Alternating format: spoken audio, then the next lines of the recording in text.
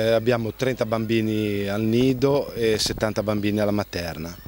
Uh, circa la metà sono di Bogliasco e gli altri sono bambini di Pieve, di Capolungo, Nervi e Quinto. Al mattino un quarto alle otto partiamo con il nostro pulmino e arriviamo sino a Quinto eh, dove prendiamo i bambini di Quinto, Nervi e Capolungo. Eh, all'interno nostro ci sono 13 maestre e due cuoche.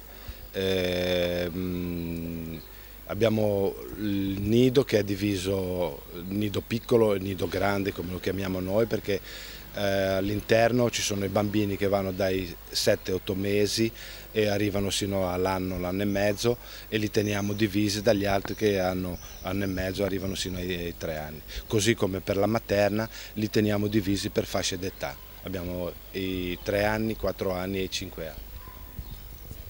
E quanto è importante sostenere strutture del genere?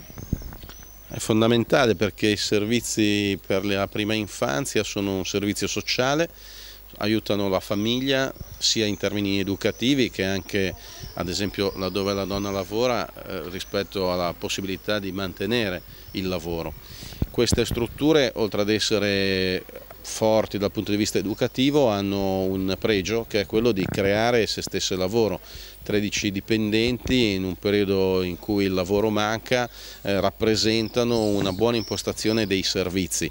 I servizi qualificano l'attività e dall'altra parte creano occupazione la scuola parificata, la scuola integrata e eh, la collaborazione sono all'insegna di un buon governo di un territorio.